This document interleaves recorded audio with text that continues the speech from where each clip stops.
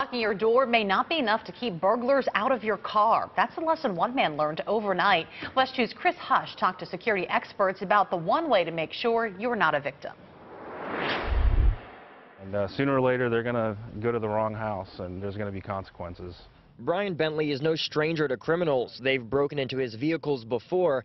That's why he says he knows his pickup truck was locked Tuesday night when this thief broke in. But he would seem to be coming from this way right here, and he uh, walked up right here, and you can see he had something in his hand. Without this man aware Bentley's security cameras were rolling, you see him stand next to Bentley's truck, wait a few seconds, then somehow unlock the doors, hands free.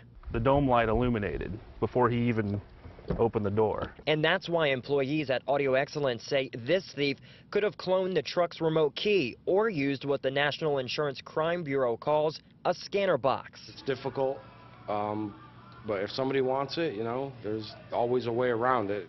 Auto experts tell us this isn't new technology. It's just easier to use with the expansion of other technology like your tablet or your cell phone. With these tools, a scanner box can scan your vehicle's remote lock system until it finds a match.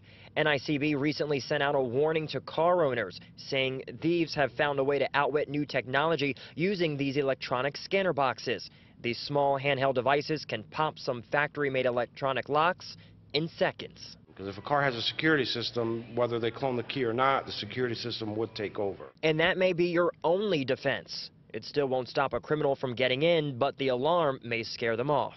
It's better to have something than nothing. The Orange County Sheriff's Office says it knows of similar devices used to hack garage door openers, but hasn't seen it used to unlock cars. In Orange County, Chris Hush, WESH 2 News.